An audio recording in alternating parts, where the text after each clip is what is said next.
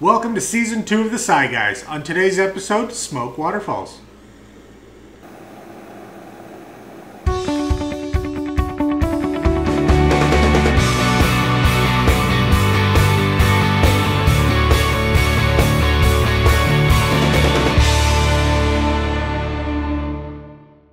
Welcome to season two of the Sci Guys. I'm Ryan. And I'm still Mark, and on today's episode, we're going to be showing you Smoke Waterfalls.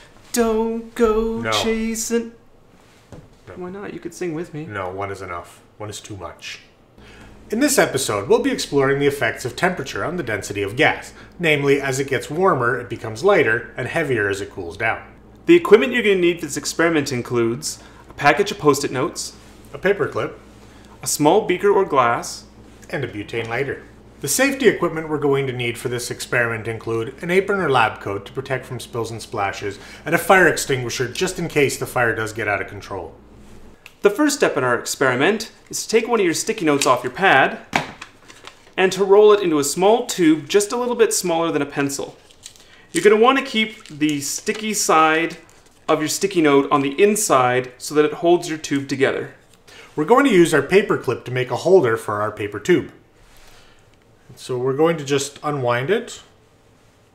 And we found it's easiest to use a pen or a pencil as a winding guide to make the tip. And then the rest of it just bend like so, so we can put it over the rim of the glass. Now that we have our paper tube and our holder ready, we're ready to go to the next step.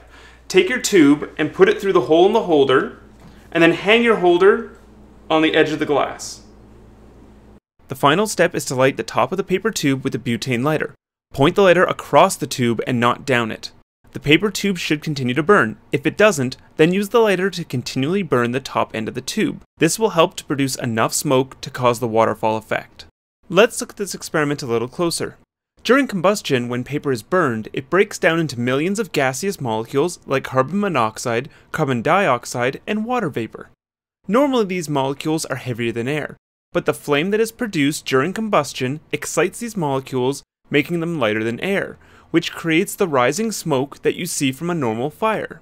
In our experiment, all the hot smoke molecules are being trapped in the paper tube, which prevents them from rising. The trapped smoke molecules are given time to cool off, which releases the energy that allowed them to be lighter than air. The cooler smoke molecules fall instead of rise and escape out the bottom of the paper tube. This creates the smoke waterfall effect. Well, that's it for Smoke Waterfalls. Thanks for watching. And if you enjoyed our video, or if you're just on the fence about it, let us know in the comments below and, and subscribe for future episodes. Remember, like us on Facebook and follow us on Twitter. And if you have any questions related to this experiment, or about science in general, let us know in the comments below or on Facebook and we'll try to help you out as best possible. Thanks for watching. Bye. Bye. One, two, three. Don't go chasing waterfalls. Here at Sci Guys, we're always curious how experiments turn out. So if you do these experiments at home, share a video or photo of them with us on our Facebook or Google Plus page. But remember to always ask your parents' permission before you share any photos or videos.